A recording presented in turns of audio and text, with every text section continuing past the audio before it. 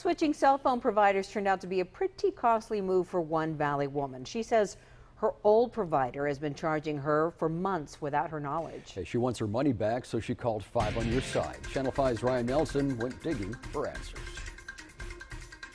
Like most of us, Maria Ornelas depends on her cell phone on a daily basis. So when she found a better provider plan, she knew she couldn't pass it up. I went to T-Mobile and I gave them four phone numbers that I had with Cricket. Ornelas says after switching from Cricket Wireless to T-Mobile, the company kept charging her account. She noticed the charges while skimming through her bank statement in January. On January 26, I called Chase Bank. At around 10 p.m., I asked them, why do I have a withdrawal from Cricket?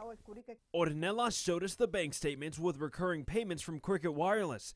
$55 came out of her account every month from July to January to a whopping total of $385.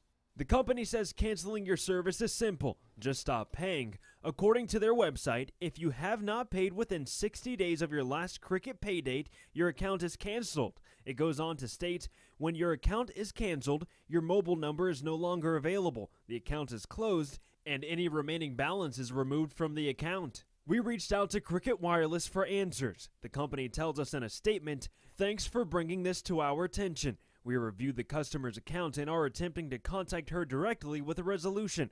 For customer privacy reasons, we cannot disclose any further customer information. Ornelas wants what she feels is hers. What I just told them is that I want my money back. A message she hopes isn't ignored. Ryan Nelson, Channel 5 News at 6, Pharr.